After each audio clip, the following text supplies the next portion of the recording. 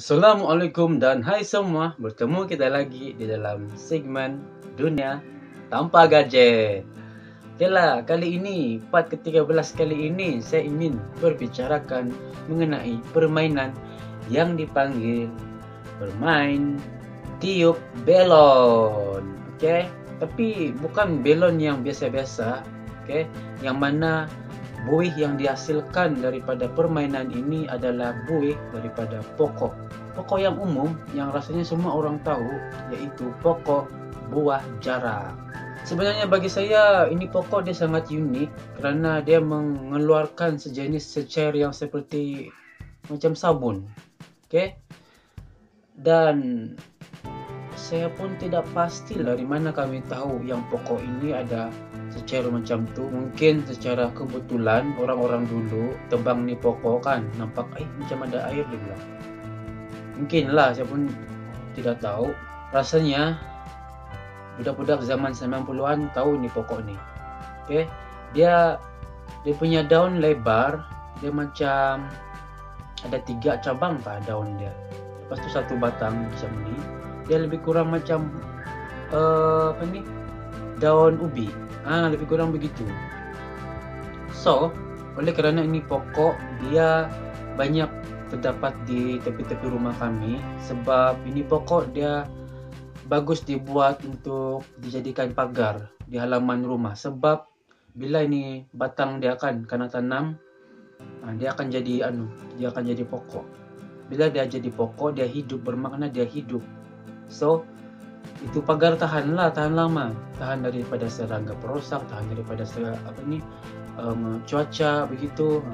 Sebab itu ramai orang yang gunakan pokok ini sebagai macam pagar dan juga sebagai perhiasan di halaman rumah lah.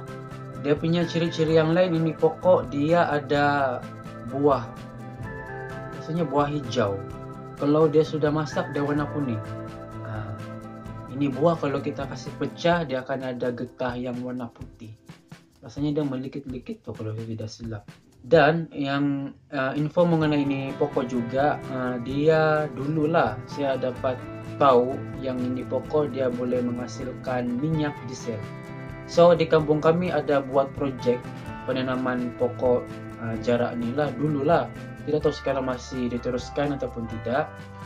Jadi cara bermain dia senang saja pergi di pokok dia dekat pokok dia uh, petiklah itu dia punya daun. Dia punya daun ada batang tu. Macam contoh begini kan dia punya batang lepas tu sini dia punya daun. Ada tiga cabang. Tiga atau empat begitu.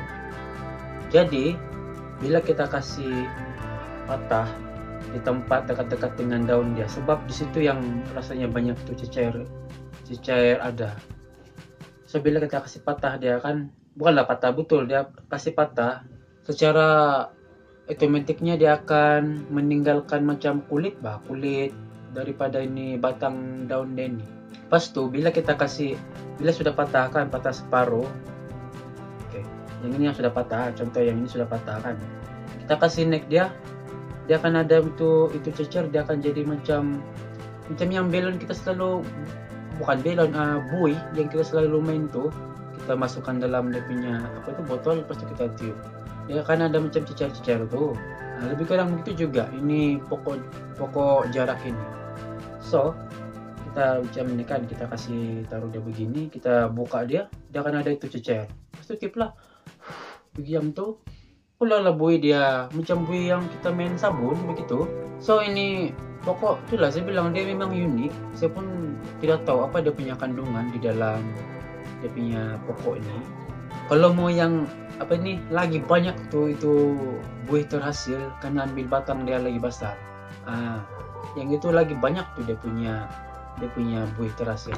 Kalau yang di, di batang batang daun dia itu saja kan uh, dalam anggaran 10 ataupun ke 20 lah begitu dia punya buih jadi kepada mereka-mereka yang di halaman rumah di orang tu ada ini pokok ataupun di di mana-mana lah kamu nampak ni pokok buah jarak ni pergilah cuba main.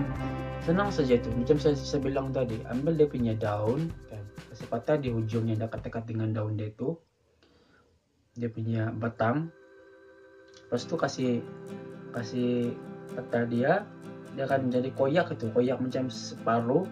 Itu yang kau akan tiup-tiup dia nanti. Bilang macam itu siok dulu. Tidak payah memerlukan macam modal duit untuk bermain. Nah. Tapi ini dia punya buah kan. Tidak boleh dimakan oke okay? bahaya tuh dia rasanya ada ada racun tuh ada toksin toksin? Toksik. Ada toksik itu racun. Biarpun dia sudah masak kan walaupun dia warna kuning sudah janganlah coba-coba pergi petik pergi makan okay? dan kepada yang masih belum tahu ini pokok kewujudan ini pokok boleh boleh try Google okay? boleh tengok di Google dia punya ciri-ciri dia. Dan janganlah buat jarak di situ. Memang dia akan keluar tuh. Pas itu saya sarankanlah tanam di halaman rumah. Cantik. Lagi-lagi kalau membuat pagar memang dia cantik itu. Dia punya ciri-ciri kan dia punya batang pokok tuh dia bukan pokok yang pokok keras nih bukan dia dia lembut ya. Dia lebih kurang macam uh, pokok betik.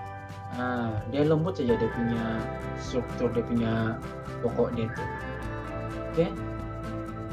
jadi adakah anda tidak sabar untuk bermain dengan dengan permainan ini? Kira macam permainan lah juga nih kalau anda tidak sabar lagi pergilah cari.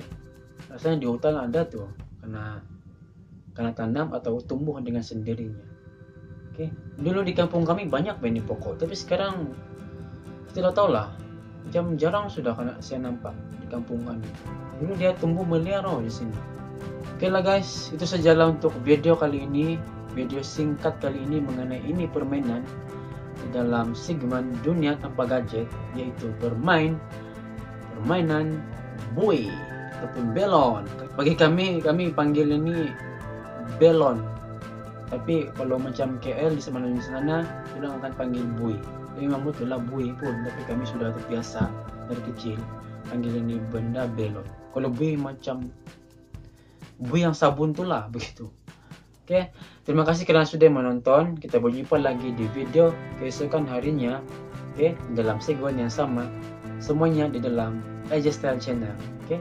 terus mengikuti saya punya channel dan jangan lupa untuk subscribe. Oke, okay? apa-apapun dari kita sejauh itu, see ya.